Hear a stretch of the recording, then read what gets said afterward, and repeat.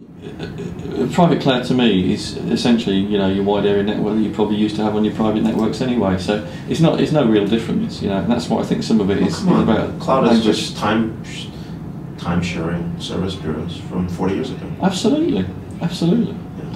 But the one thing that scares me about some of the cloud, if the public cloud, not the public cloud, but you know the, the cloud generally, is your lack of control over it, particularly where it's your critical business functions. And as I was saying last night, things like the 9/11 thing, which just completely threw it all out of the water. And the other thing, there's more more fundamental things.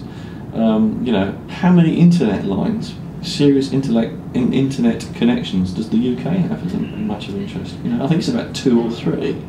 You know, Yeah. doesn't take much for some major issues. Think back, was it last year or the year before last when we had all those issues in Europe, between Europe and Asia, where we lost all the connectivity because of undersea cables. Well, someone snipped the line. Yeah, yeah. Well, I think terrorists could snip a line. Well, absolutely. Somali pirates with nothing better to do. Well, they, you know, they weren't sure exactly how it happened, but you know, off off the coast of Turkey or Cyprus or wherever it was, it suddenly snapped. So there you go. Well, the Russians were a little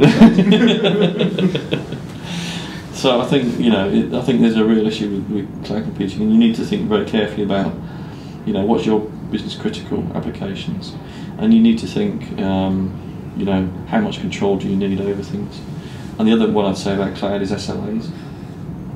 You know, what's your, what's your what if you've got a critical application? What is your SLA with your cloud provider? I wrote a SaaS Bill of Rights if you want to take a look.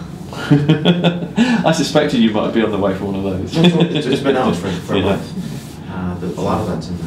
Yeah. What's interesting about the SaaS vendors is that they're more customer focused. Uh, I wrote this Bill of Rights, I sent it to them, they said, yeah, we should be doing this. I sent it to Oracle and SAP, I was like. Very interesting.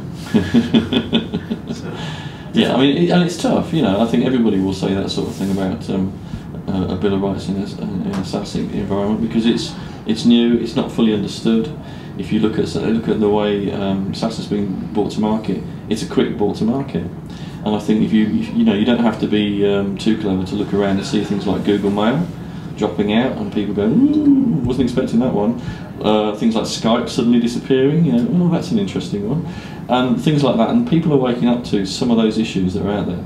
I think there was a, also um, six, 12 months ago, uh, a cloud computing model vendor went out of business, and what people found was that there was, yeah, was it? I, I can't remember who it was, but there, but there's a problem extracting the data from that. Was LucidEra. Yeah, and you know, so there are lots of lots of issues with that. You know, you really got to understand it, and you really got to think carefully about it.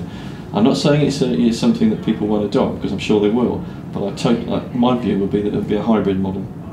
You know, you're going to have your critical in-house, and you're going to use other things where perhaps the you want a speed to market issue where you want to be able to do something quickly, or you don't want to invest in hardware associated with that or something like that. So you know, you just want a very quick win, or you might only have a small number of people who actually need that functionality.